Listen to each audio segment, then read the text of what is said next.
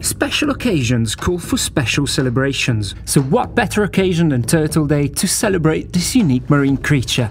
Get yourself your favourite snack, lean back, and let's have a closer look at the hawksbill turtle in our new feature called Creatures of the Depth.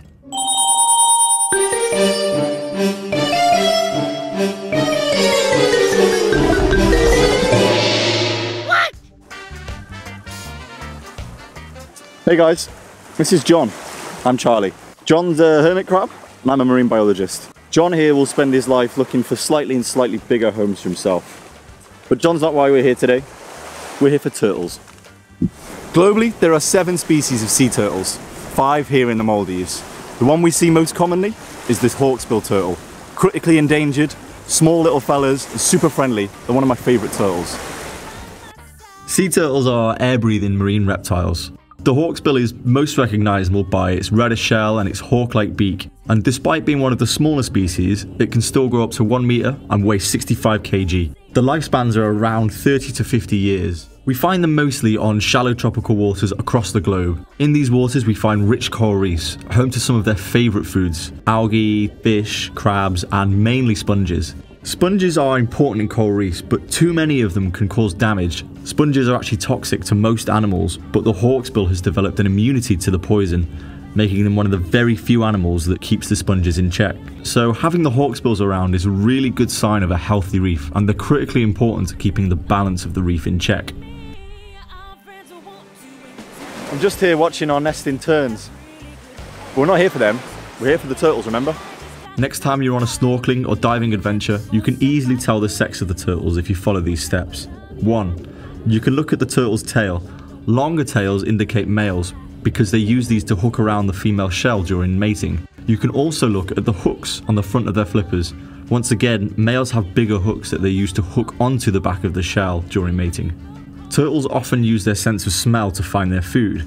Algae that grows on floating plastic can often mislead the turtle into thinking it's eating the algae and it can accidentally ingest the plastic. Too much plastic in the system and the turtle can actually starve to death. Whenever you're out snorkeling, diving or on a beach walk, if you see any plastic, make sure to pick it up and help our marine life. In Cyprus, during my work with Spot, every single turtle I dissected had plastic in the gut and it was the first thing to flow out. It's absolutely tragic to watch. I'm here with whatever the hell this is. Kind of reminds me of turtles. Turtles are super playful and their curious behaviour makes them a pleasure to dive with. But when you're in their home, respect their rules. Have the encounter on their terms, you'll have a better encounter, and you won't stress the animal, forcing them to make an unnecessary surface.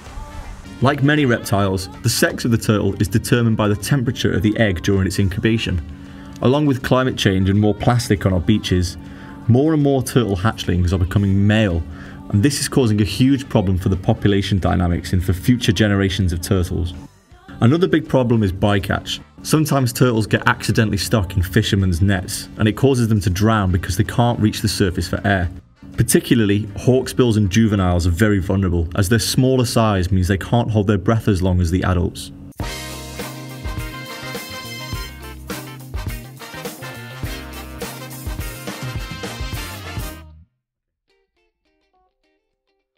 Charles, what a cracking name. Thanks for being with us today, guys. I hope you enjoyed and I hope you learned something new. Remember to stay tuned for more. And I'll let my friend Jonathan sum up my feelings about turtles. Bye now. Back here live at the Waterfront Village with my friend the zombie, Jonathan. You're looking good. Jonathan just got an awesome face paint job. What do you think? I like turtles. Nice.